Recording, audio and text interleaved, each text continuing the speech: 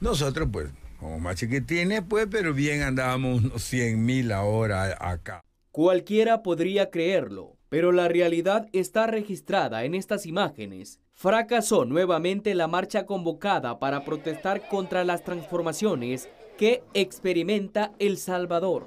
Esta es la mejor. Esta es la mejor. La mejor, la más grande, la más representativa. En el afán de proyectar una marcha multitudinaria, incluso acarrearon a niños, mujeres embarazadas y adultos mayores. Los partidos políticos opositores pasaron por alto el significado de esta fecha conmemorativa y ocuparon las calles como escenario para hacer proselitismo. Voy a buscar participar en las elecciones internas de mi partido para correr por un segundo periodo en la Asamblea Legislativa. Queremos cambiar las cosas con honestidad, con esfuerzo.